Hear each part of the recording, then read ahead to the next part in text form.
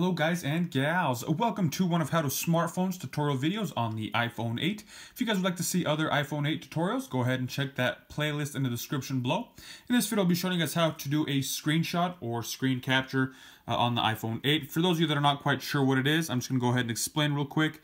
Um, so let's say you're somewhere, searching somewhere, let's say you're in stocks, mine's not set up, but uh, let's say you see something you want to show somebody like whatever had dropped or whatever jumped up and you want to uh, share the screen whatever you have up if you're reading an article if you want to save a recipe whatever you're doing uh, whatever you're searching and you find something and you want to keep it for further reference in your photo gallery what you want to do then is do a screenshot which captures the screen whatever you have on the screen it will save and the way to do the screenshot is by uh, holding the power button and the home button. You got to do just click them simultaneously.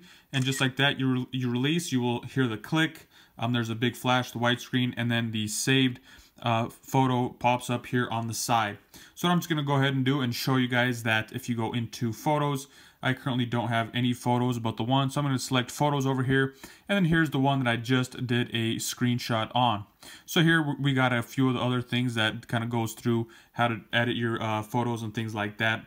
So that is one way to do the uh, screenshot. For whatever reason, if your home button doesn't work or your power button doesn't work, the button up here, for whatever reason, if they're not working properly, you can do a screenshot another way. So what you're going to want to do is start off by going to settings.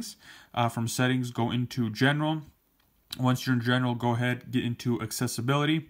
And from here, we're to go ahead and scroll down until we see the assistive touch go ahead and select that. And then from here, we're gonna go ahead and customize top level menu. Go ahead, select that. And from here, we can customize by clicking on the star. So select the star, and if you scroll down, there is one that says screenshot. I'm gonna go ahead and select that one. Once it's been checked over here on the side, click done up in the right hand corner. And once that is there, we can go ahead and head back out of here and then turn on the assistive touch, which is right here. So I'm just gonna go ahead and turn that on. And as you guys can see, this little circle with the grayed out box uh, pops up.